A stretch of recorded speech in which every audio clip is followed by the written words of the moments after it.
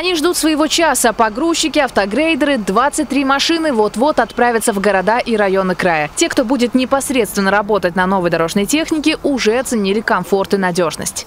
Ну, я думаю, если кондиционер есть, вентиляторы вот тут вот нарисовано, что стоят. Я думаю, нормально будет. И обзор хороший. До сих пор на чем приходилось работать?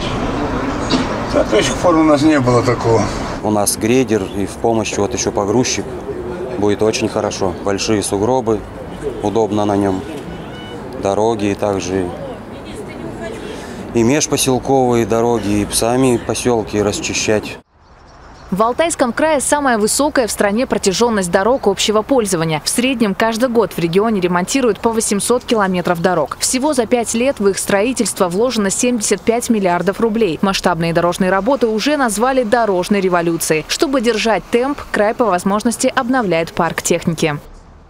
Для города Барнула три единицы. И сколько бы то их ни было, на самом деле это такой мини-праздник. В коммунальной а, инфраструктуре обновление парка подвижного состава имеет большое значение. Губернатор края Виктор Томенко лично проверил технику, забравшись в кабину фронтального погрузчика. Погрузчик будет работать на дорогах Тальменского района. Более 600 единиц техники за последние 4 года приобретено на общую сумму около 5 миллиардов рублей.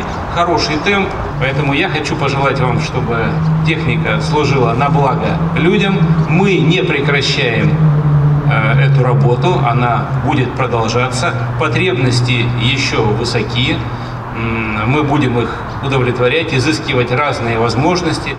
По словам Виктора Томенко, вложения в дорожную технику окупаются многократно, ведь ровные дороги – это не только комфорт жителей, но и логистика для бизнеса. Так регион становится более привлекательным местом для инвестиций. Ирина Корчагина, День с толком.